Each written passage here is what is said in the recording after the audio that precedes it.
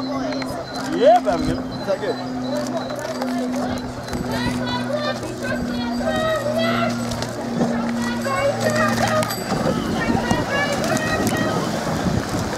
Yeah! Edinburgh.